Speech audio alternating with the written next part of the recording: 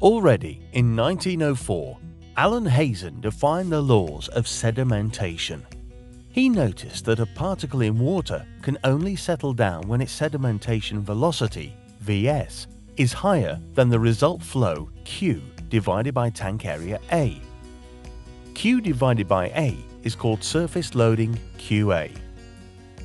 Except with flocculation, the sedimentation velocity Vs of particles and flow Q cannot be changed. By increasing the only variable, tank area, we decrease the surface loading QA and therefore increase the settling performance.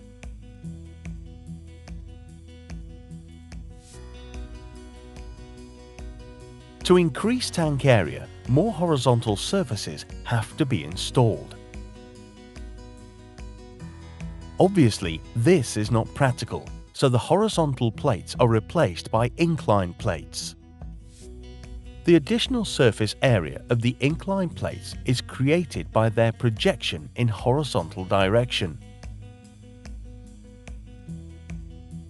Nowadays, settling plates are replaced by plastic modules as provided by AET because they have a lower cost, are easier to maintain and install. Lamellar clarifiers increase the settling area by 5 to 10 times.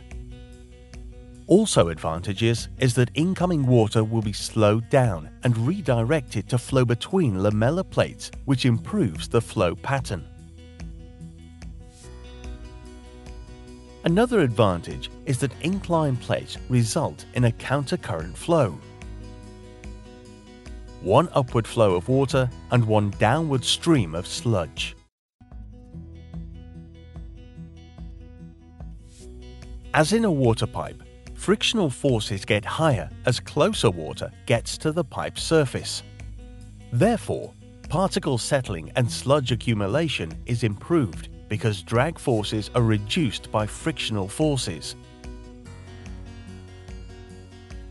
In total, lamellar clarifiers are a great solution to upgrade existing sedimentation tanks. Compared to conventional sedimentation tanks, the installation is significantly faster and the total cost is about one third.